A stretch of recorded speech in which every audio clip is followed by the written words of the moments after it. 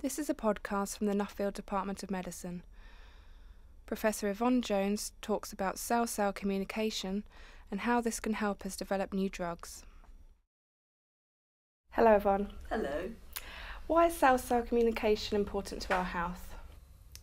Because our bodies are made up of millions and millions of cells, and so obviously they all need to be able to communicate with each other and work out are they in the right place, doing the right thing at the right time? Do they need to move to somewhere different? Do they need to, to multiply up? Do they even need to die because they're not needed anymore? What happens when the signalling systems don't work properly? Well, one example would be cancer. That's a case where signalling systems aren't working correctly in terms of telling cells not to just carry on growing and multiplying. A particular aspect that I'm currently working on is in the latter stages of cancer, metastasis, when cancer cells start moving from that particular tissue where they've started growing to different tissues. So they're no longer staying where they should be. They're invading other parts of the body.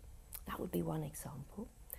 Um, another example would be where in the immune system, perhaps we're not recognizing that we've been infected by a particular organism, so that the immune cells aren't spotting this fact and fighting off things fast enough.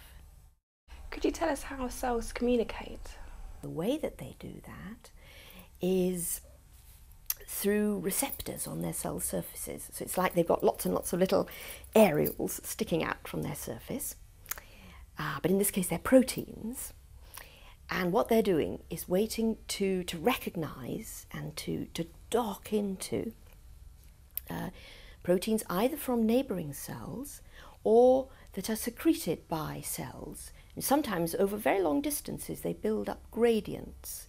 So they're acting as messages for cells to grow or divide, or in the case of the cells that I'm interested in at the moment for metastasis for cancer cells, then they're determining this balance between whether a cell is, is sticking somewhere or, or whether it's being, being pushed away and, and moving off. And so they're, they're acting as guidance cues, almost like cellular sat nav.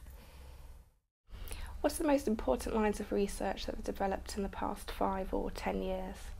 I guess my view would be our ability to be able to look at these signalling systems right down to the atomic level detail. So it's a bit like understanding how a clock works or how a car works. It's all very well trying to describe it in words, but if you can actually see it and see the detail, you know, open up the bonnet and look inside and see all the different bits of a motor, then you can understand how it works. And of course, once you understand how it works, you've got some idea of how you can go in and manipulate it to, to make it work correctly when things go wrong. Why does your line of research matter? Why should we put money into it? Well, it's because if we can understand what these things really look like and how, therefore, they work, then we can go in and either block them in the case of, say, a cell guidance cue that's, that's now acting to guide cells in cancer metastasis to where they they shouldn't be in the body. So we want to actually block it. So you could design a, a drug, a small molecule that will go in, fit very specifically the, the shape of the, the antennae, the little structure on the cell surface, and block it. Or else, perhaps in, in the case of uh, the repair of, um, of, the, of the spinal cord in, when there's been um, serious injury, there the problem is that the cells the nerve cells aren't able to regenerate and grow through the scar. And if we can stop the signals that are stopping them and instead give them signals to encourage them to grow through the scar, then we can help regenerate after damage. How does your research fit into translational medicine within the department? Well, obviously, what I'm doing is very basic research, um, but I can then discuss. I mean, that's one of the exciting things about being in the Department of Medicine because I can discuss with my colleagues how my basic insights can feed through to the clinic.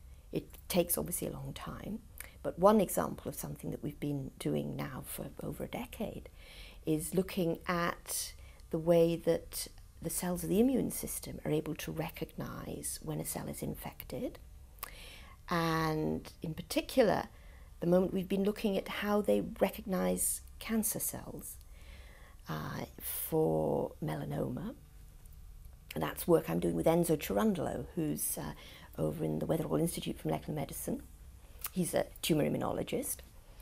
And so, from taking my basic insights, he's now able to work to try to improve uh, anti-cancer tumour vaccines, which can be given to, to patients um, when, they, when they've got melanoma, is one of the ways of, of trying to combat it. Thank you, Yvonne.